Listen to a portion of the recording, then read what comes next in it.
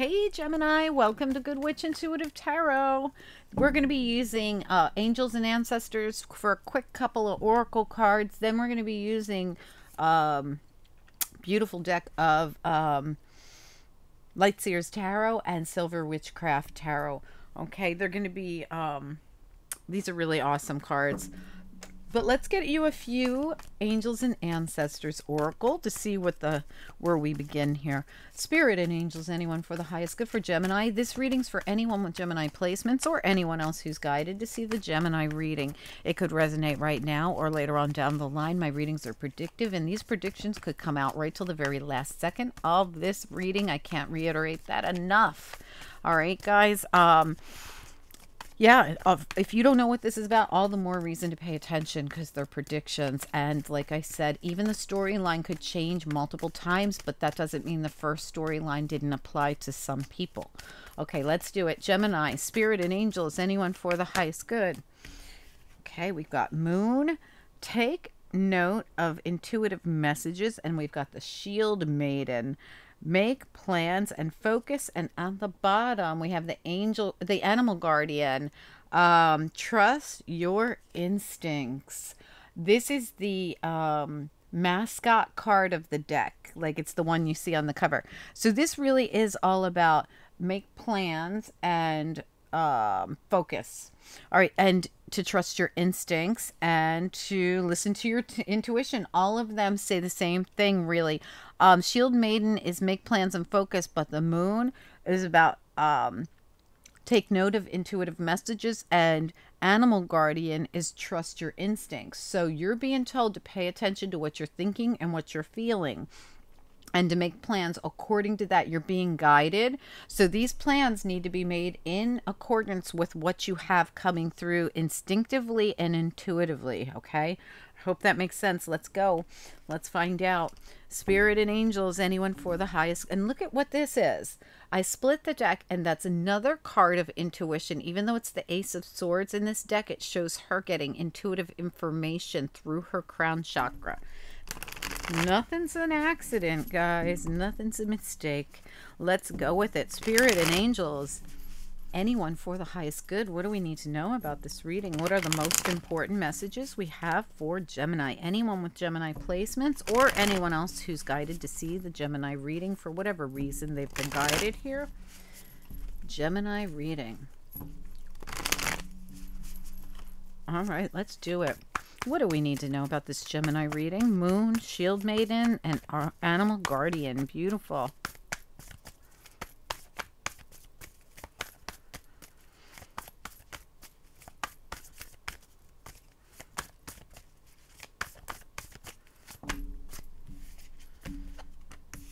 Oh, there it is. Pay attention to your intuition. What did we just talk about? High Priestess gathering all that information through her crown chakra. Can you believe that? Eight of Cups is reversed here. What else do we need to know? Gemini reading.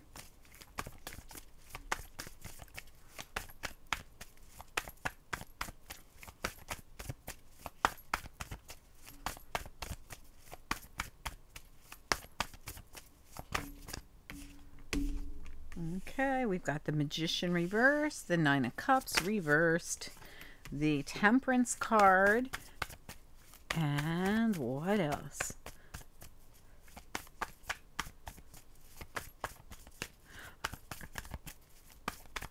What's going on here for Gemini, please?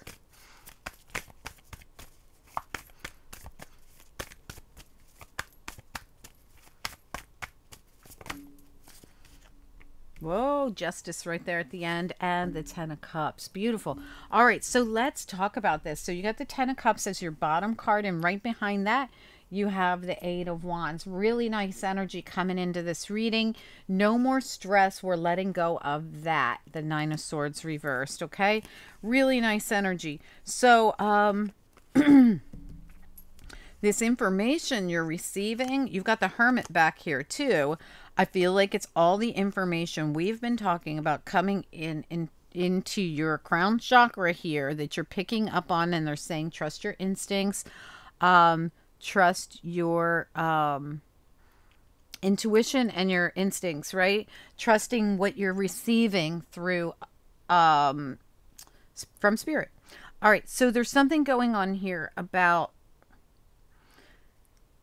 I really have to look at this because I'm not sure what's happening here. It feels like um there's multiple things that I'm getting on this and I'm not sure if this is that you feel stuck in something or if you haven't been able to like you haven't been able to achieve something but you're being guided in some way. But we're going to look at it. Um, we've got this beautiful temperance and justice. Whew, look at that. Archangel michael here and balance both of these are cards of balance big time i feel as though you are being guided towards something. And Spirit keeps saying, trust us, trust us, listen to us. We're sending you this information.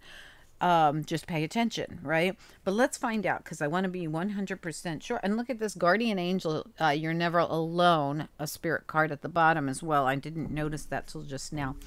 All right, let's get into it. This is Silver Witchcraft Tarot. Spirit and angels, anyone for the highest good for Gemini. What do we need to know for anyone with Gemini placements or anyone else who's guided to see the Gemini reading for whatever reason they've been guided here? What do we need to know about this? What are the messages? Gemini reading. This could resonate now or later on down the line. Uh, this is a weekly reading, but could resonate anytime that you're guided to see it or just later on. All right, let's get one more shuffle. Gemini reading, one more shuffle. Oh, and by the way, guys, your monthlies come out tomorrow as well. We have 26 new videos coming out this weekend. There's bound to be something or multiple somethings for everyone. We got the weeklies today, we got the monthlies tomorrow, and on Sunday, we had the Friday reading just come out.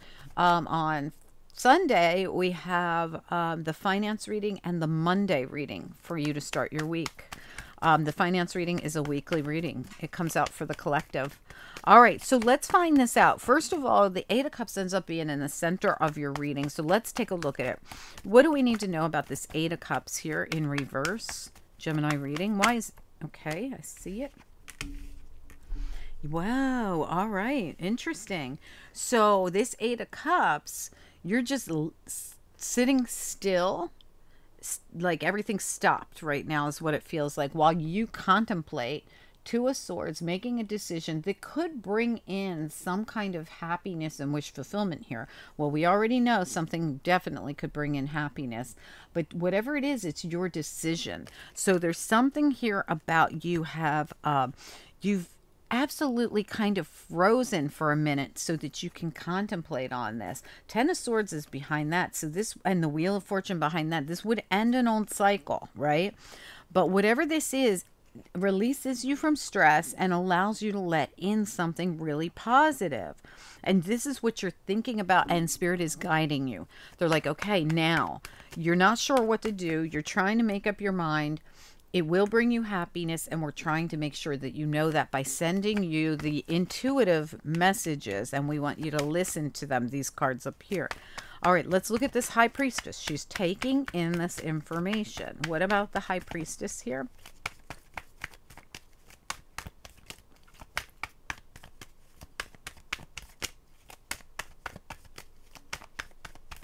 Gemini reading. Why is the High Priestess involved here? What do we need to know about it?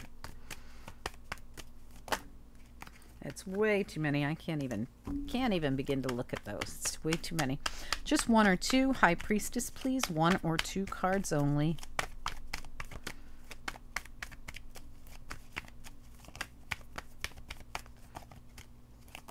Oh, there you go. All right. So we've got here the Knight of Chalices reverse, that's the Knight of Cups reverse, and the Three of Pentacles. All right. So there could be something going on. You could be, um, somebody could absolutely be wanting to involve you in a in a third party situation it's three of pentacles um or you don't know this maybe but your intuition tells you that there's somebody hidden see how she's like working in the background behind his back um, or this could be something going on behind your back that you find out about that someone's not being genuine. There's something here where you're being guided to pay attention to something that might not be in your highest good. Um, but this is being done for you, not against you. This is absolutely being done on your behalf for you to find this out, this information out, so that you um, can go towards something much better because you're being guided towards wish fulfillment that you don't have in this situation. So let's find out. Let's look at the Nine of Cups reversed. What is the Nine of Cups reversed doing here for Gemini or anyone else who's guided to see the Gemini reading? Why not? Okay. King of Wands. All right, so this could be you or this could be someone else. Let's get a look at it. Why Nine of Cups reversed with King of Wands? Why King of Wands? Gemini reading.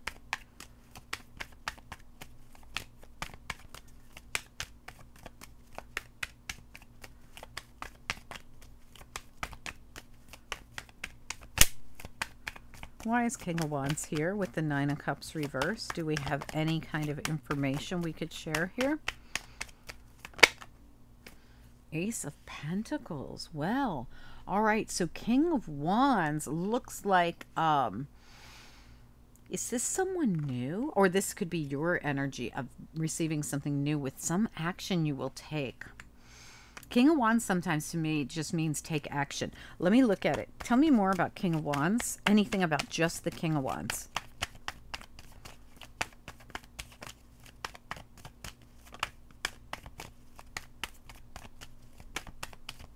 Why is King... Okay. Yeah. All right. So we have um, the Page of Cups, Page of Chalices. This is all new beginning. So this is um, this is really someone coming in to make you an offer. Some kind of an offer. Now, this could be platonic or this could be romantic. We have Ace of Pentacles, like that's the new beginning. It's solid and it's stable. And we have the Page of Cups, which could be a really kind gesture. It could be apology. It could be an offer of some sort. But this comes off the heels of something or someone else. This is a different person. We have someone up here that we can't trust and then someone new coming in. So why are we seeing both of them? Because you have a choice to make. Okay, so keep this in mind. The person who comes in with a solid offer, the person who comes in really passionate and the king of he's the king of wands. Uh he could be an aries leo sagittarius. He probably sagittarius with this temperance right here but really could be anyone. This person looks good. So if you're choosing between two different people trust your gut. Your gut is telling you which one's going to be the more solid stable person for you. The other one is a phony and a player and uh, has third parties or has a person hidden or is still involved with their ex or something. I, I don't know, you know, exactly what that is. All right, let me look at the Magician reversed here. Gemini reading, why the Magician reversed? What do we need to know about the Magician reversed? Gemini reading, why Magician in the reverse? Nine of Wands reversed and the High Priest. Okay, interesting. So, um, Nine of Wands is now reversed here, so I don't feel like I have to protect myself. I don't have to feel like I have to fight for something. I don't feel like I have to engage. Um, and the high priest. So this really could be, and this probably your energy here is the magician reversed, or this could be someone who's trying to play you. It could, because even though you're Gemini, magician could be other signs. So this really could be someone who um, you're guarding yourself against, or you've been guarding yourself against. This could be someone, um, you could have been blocking all commitments. That's what I'm feeling. Like you could have been blocking all commitments because of this player over here and now this really nice person's coming in um so genuine uh so king of wands with this knight of cups with the actual new beginning coming in but they're coming in on the heels of you being disappointed by someone else or dealing with somebody who i don't know if they put you through a third party or what let's look at uh temperance Temperance and balance. Well, I'm going to look at them both. Uh, temperance is balance and justice is balance, is what I meant to say. So, temperance and justice. Let's get a look at it. Gemini reading, temperance and justice. What is it we need to know? Gemini reading. Why temperance and justice? Why? What do we need to know about it? What are the messages? Oh, wow. Yeah, absolutely. So, well, we're going to put an end to something.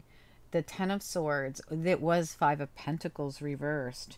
So, in other words, whatever this was made us feel left out in the cold. So, you might have felt really hurt, very um, abandoned. You could have been, somebody could have, um, somebody could have just left you out in the cold, which could have been really difficult. Like, what happened, right? Um, Three of Swords. It was really painful. So that's what caused all this uh, uh, pain with the Ten of Swords is back here too, don't forget. So the Ten of Swords is back here. It's been holding up the wheel and you've been just it. You went into this like shut down, right? And hermit mode with this Ten of Swords. So whatever this person did hurt you deeply but now things are about to take off and happiness is coming in. There's a new person coming in here. I definitely want to say this. If you're still in touch with this person who put you in a third party or who was like a player or not genuine, please cut ties with this person. It's in your highest good because you actually, this happens all the time, all the time.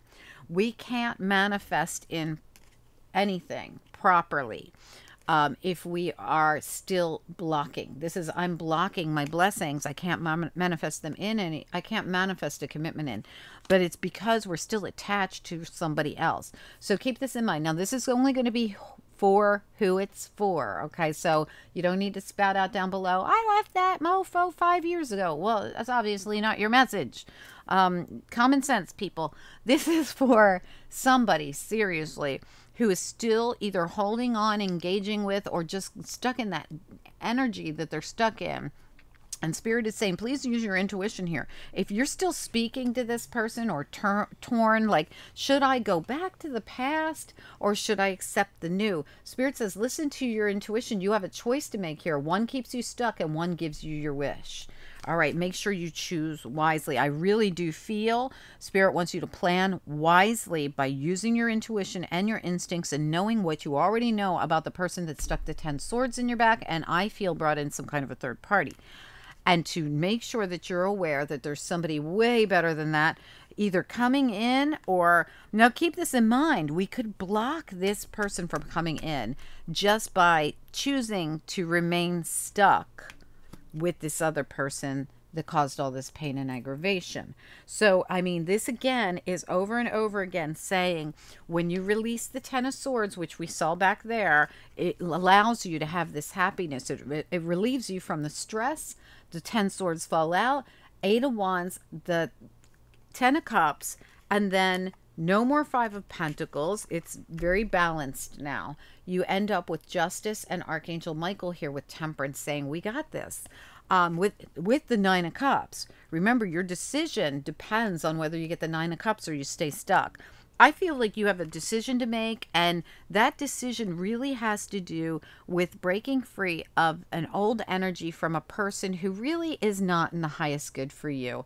Um, now, of course, you have to make your own decisions, right? You have to look at it however way you have to look at it. Trust your instincts, trust your gut, listen to your intuition. Um, Spirit wants you to move on your path. Um, plan make plans and focus. This is Shield Maiden. This is your path making plans for your journey ahead. Does somebody you don't trust come with you, or do you open up that door for somebody that's very positive and very um, trustworthy and really genuine? Um, you know, and could be your wish fulfillment because choosing this one brings you wish fulfillment. I very much think that the person who's going to be your wish fulfillment, they come through as a strong fire sign, Aries, Leo, or Sagittarius, but they really could be anyone because they're coming through in this very passionate energy. It could be why they're coming through as fire. So I'm not, I'm going to tell you just be open to whoever comes through is genuine and whoever your gut tells you and your instincts tell you to trust, right? And you already, I feel you already know that this other one is full of BS and it's not going to go anywhere. That's what I feel.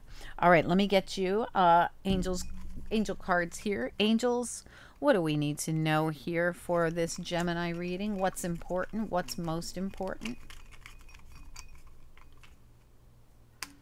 Respect, baby, and integrity. Wow. Oh boy. Ex- respect and integrity, right? Exactly. And Spirit says, have faith and trust your gut. They're really telling you to trust what you're feeling. If you're feeling somebody's not right for you, it's because they're not. If you're feeling somebody new, well, I don't know if you've met this person yet, or if you feel if you feel like someone new is being blocked because of your attachment to someone else, do whatever you got to do to disconnect that attachment, even if it means you got to do your own cord cutting or whatever you call it to release the energy. You know, everybody likes to do different practices. I don't like to tell people what to do, but you could do whatever practices it takes for you to release this old person's energy of disrespect and dishonor and um lack of integrity and lack of respect, as it says here, so that you can open that door and trust that the next person or this new person is the one because they're coming through in a really high vibration here. Good luck, everybody.